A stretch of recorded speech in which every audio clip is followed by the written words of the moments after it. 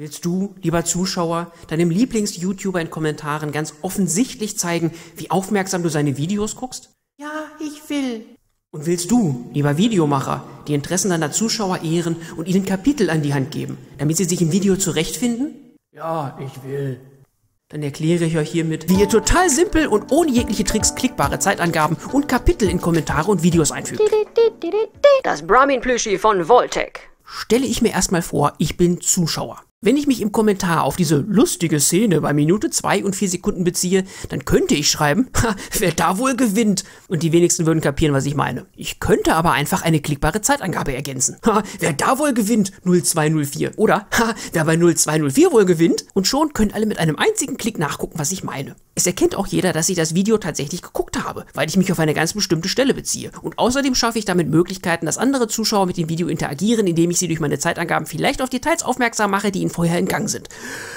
Und wie erbringt ihr nun diese unschätzbare Serviceleistung zum Wohle aller? Etwa durch JavaScript Injection? Durch 10 Semester Informatik? Nö. Ihr braucht nur Zahlen und einen Doppelpunkt. Zahlen, die von einem Doppelpunkt getrennt sind, macht YouTube nämlich ganz automatisch zu einem klickbaren Zeitstempel. 01 Doppelpunkt 23 wird zu einem Link zur Stelle an Minute 1 und 23 Sekunden. 01 Doppelpunkt 23 Doppelpunkt 45 würde zu einem Link auf Stunde 1, 23 Minuten und 45 Sekunden. Simpel, wa?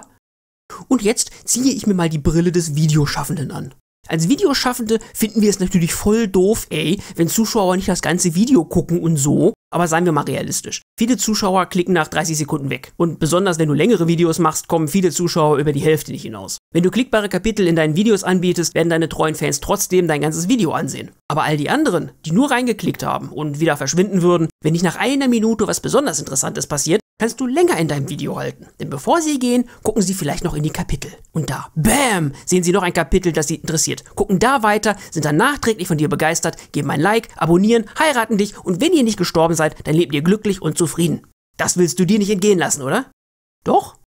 Schade. Dann kannst du jetzt wegklicken. Dann interessiert es dich ja nicht, wenn ich erzähle, wie einfach Kapitel in YouTube-Videos sind. Du brauchst nämlich bloß in deinem Video auf Video bearbeiten klicken oder das Video direkt in YouTube Studio bearbeiten. Und dann tipperst du einfach die Zeitstempel in die Videobeschreibung. Egal wohin da drin. Keine Kenntnisse in HTML oder sonst was notwendig. Fast so einfach wie in Kommentaren. Allerdings für Kapitel mit zwei kleinen Besonderheiten. Erstens, die erste Zeitangabe muss 00 Doppelpunkt 00 sein. Normalerweise ist das ja die Einleitung, Begrüßung, Zusammenfassung oder was auch immer. Zweitens müssen die Zeitangaben am Anfang einzelner Zeilen stehen und der Kapitelname danach. Beachte dabei, dass einige Sonderzeichen oder auch Anführungszeichen zu Problemen führen können. Und nach dem Reintippern speicherst du die Änderungen und rufst das Video nochmal auf. Und Foila, schon hat dein Video klickbare Kapitel. Cool, hä? Und jetzt auf, verbreiten wir gemeinsam den Kapitalismus auf YouTube.